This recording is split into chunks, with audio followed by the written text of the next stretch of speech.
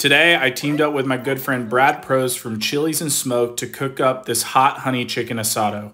I first seasoned it with my Nashville hot chicken seasoning, making a medium high fire. We're gonna cook this guy in a grilling basket, but you can easily cook it on your grill. Just make sure it's seasoned up and greased really well. We're gonna cook this guy for about two hours, rotating it about halfway through until it's about 165 to 170 internal. Next, I'm gonna add a basting skillet with honey and butter, let that melt, and then I'm gonna glaze the outside of the chicken right before it comes off to make sure it gets crispy and nice and sweet.